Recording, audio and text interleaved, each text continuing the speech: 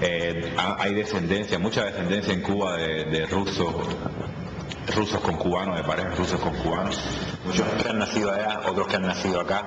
Esa es una de las primeras cosas que quisiera resaltar del legado de los rusos, de la relación cubano-soviética. La, descendencia de la mezcla, de lo que ha devenido de la mezcla de rusos y cubanos. Mujeres y hombres muy bellos. Yo nací allá en, En en el año 80. Mi madre, que es la que es rusa, estudió filosofía en la Universidad de Moscú y eso evidentemente influyó de manera notable en, mi formación como persona y también como, como profesional. Mis padres se conocieron en septiembre de 1971, ya que ambos habían ido a estudiar a un instituto tecnológico medio de energético en Leningrado. Mi padre había ido a estudiar con la segunda ola de estudiantes cubanos para superarse allá en Rusia. Y mi madre provenía del pueblo Novonikolaevsky después de estar un año vacante en su región. Al cabo de conocerse, se casaron en el 8 de diciembre de 1973 y después mi padre vino aquí a Cuba y recibió a mi mamá en agosto de 1974 y posteriormente nazco yo el 1 de diciembre de 1976.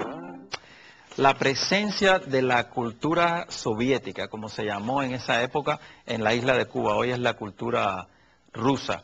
De hecho, les dije, eh, o sea, les dije erróneamente que los dos primeros fragmentos que íbamos a poner correspondían a, Dios Lolek, pero fue que unimos los dos primeros fragmentos correspondientes a, ese documental breve de 10 minutos dedicado específicamente a los dibujos animados, los llamados muñequitos rusos.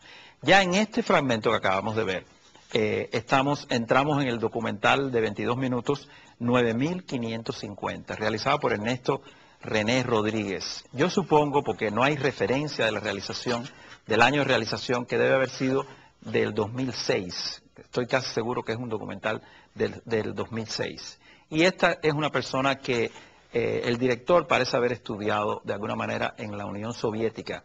Muchos cubanos, muchísimos, miles de cubanos jóvenes fueron a estudiar a la, Unión Soviética. Muchos regresaron casados. No ocurría lo mismo con las estudiantes cubanas. No, no hay muchos casos, son excepcionales las cubanas que regresaron eh, casadas con soviéticos, pero sí hay muchísimos cubanos que regresaron casadas eh, con soviéticas. De hecho, estas soviéticas que regresaban a Cuba eran mal miradas por el gobierno de, la URSS, eh, porque no pertenecían a, los técnicos extranjeros que venían a colaborar específicamente a Cuba. Eran una suerte de, parias dentro de la misma comunidad eh, soviética. Así que debían sufrir dos veces, debían sufrir la adaptación a la, cultura cubana, el, aprendizaje del idioma español, que era totalmente ajeno, eh, la costumbre de las comidas, todo era distinto. Pero además tenían, eran mal miradas por las personas de la embajada rusa, por los técnicos y por los soviéticos que estaban oficialmente establecidos en Cuba. Eran muy eh, mal miradas. Aquí estamos viendo, como expresó este testimoniante, la cantidad de, muchachos y muchachas de origen ruso que viven actualmente en Cuba. Muchos han regresado, muchos regresaron, muchos se quedaron en la Unión Soviética y luego también hubo un movimiento en que pasaron a Miami. Pasaron a Miami eh, y se les puso un nombre, un nombre de alguna manera humorístico, se les llamó los gusanos rojos, porque fueron los estudiantes cubanos que no quisieron regresar a Cuba cuando la, Unión Soviética se derrumbó y decidieron seguir viviendo con sus familias en, Rusia, sobre todo en Moscú y en esos lugares. Vamos a ir viendo la, presencia eh, de la estética rusa de alguna manera, los productos, etcétera. Vamos a entrar en otro fragmento del documental 9550. Que eh, la vida estaba formada todo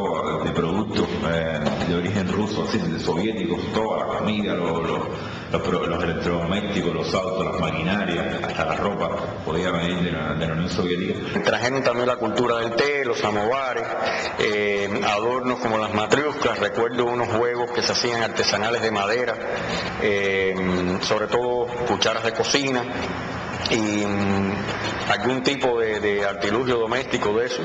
Trajeron, hablando de cocina, trajeron las recetas de la mesa eslava, que a mí en lo particular me encantan. se daba el caso que la gente se encontraba a los rusos en la calle y le pedían chicle y ni los propios rusos sabían qué cosa era un chicle, ¿no? sobre todo por allá por los 70, ya para acá para los 90 eso cambió mucho. Pero era eso, ¿no? Tú, tú, eh, tú veías los productos y cosas que venían de la Unión Soviética, pero no podías no, no ver un ruso, la presencia era muy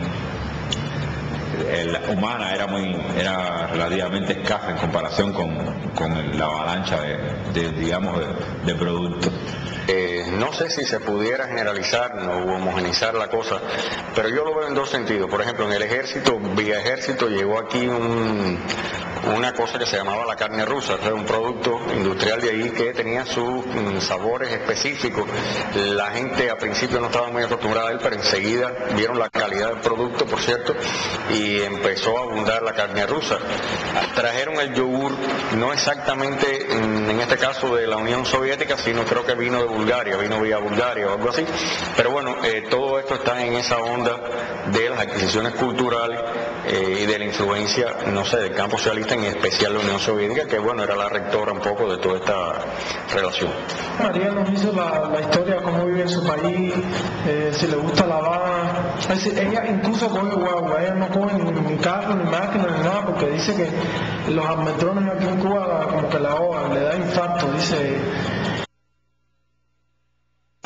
aspecto quizás que de esto sobre la influencia soviética está precisamente en que algunos cubanos nacidos entre los años 60 y los 80 llevan nombres eh, rusos, eh, nombres como Yuri, Alexei, Liuba, Yordanka, que no es precisamente ruso, pero es búlgaro, pero bueno, está en la órbita esta de, la onda soviética. Eh, Boris, Tatiana, Karl, qué sé yo. No, pero no un nombre. Bueno, el que tengo yo sí, pero fue cogido de un seudónimo de este escritor, ¿cómo se llama? Eh, Máximo Gorky. Aquí se estudiaba, en el precio estudiaba un libro que se llama La Madre. Ya tú te podrás imaginar el ponche que podía haber en un aula cuando decía La Madre de Gorky. ¿eh? Yo me llamaba Gorky. Único. En todas las escuelas que estudié, el único que se llamaba Gorky era muy cómico, o sea, por una parte tengo que agradecerlo porque es bastante original en cuanto a nombre, ¿verdad? empezaba a llamarse Juan, pero por otra parte yo lo veía feo, ¿no? o sea, que el nombre Gol, que, que para cómo no era, no, era, no era un nombre, era un seudónimo, y lo otro que significa, significa amargo. Mi mamá fue la que me lo puso. Incluso hay colia, colia es un diminutivo. Eh, hay seriochas, o sea, yo me llamo Sergio, por ejemplo, que Sergei también hay por ahí cantidad. Dije en, un, dije en el corte anterior que Ernesto René Rodríguez, que dirigió 9550, había estudiado en la Unión Soviética. No es así. Es un escritor cubano, un escritor incluso que aparece en las páginas eh, underground, unas páginas, y ha hecho videoclips. Ha hecho videoclips nada más y nada menos de, de este cantante que acabamos de ver, Gorky Águila que el grupo se llama Porno para Ricardo. Y ese es uno de los grupos en este momento que, al- que ojalá podamos conseguir el documental, que- que en todo el Internet aparece como los avances, el trailer, de un documental dedicado a Gorky Águila, que es un cultivador del, del- del rock punk, del rock más, más contestatario que se haya podido concebir. De hecho, las opiniones de él han sido muy fuertes, tiene una canción dedicada a Castro que se llama Comandante, donde lo ofende abiertamente, lo ofende con palabras soeces que no vamos a ser capaces de poner en este programa por obvias razones, pero es eh, por lo cual ha estado preso. Se comenta incluso que ha vuelto a, a la cárcel, pero al parecer el gobierno cubano no quiere en este momento como comprarse la bronca, como decimos los cubanos, de tener a un intelectual preso. Pero es interesante que, como dice Gorky, que a él se le puso ese nombre por, por Máximo Gorky. De hecho, hay muchas personas, eh, me acuerdo uno de los chistes en Cuba que decía que ese sistema, el sistema socialista, sobre todo soviético, estaba condenado al fracaso, sobre todo cuando uno veía una lavadora soviética que terminaba destruyendo la ropa, cuando esa lavadora había que llenarla y vaciarla de agua, nunca se llenaba y se vaciaba sola, cuando los eh, refrigeradores había que descongelarlos toda la semana porque se hacían un hielo muy grueso y salía toda aquella agua regada por la casa.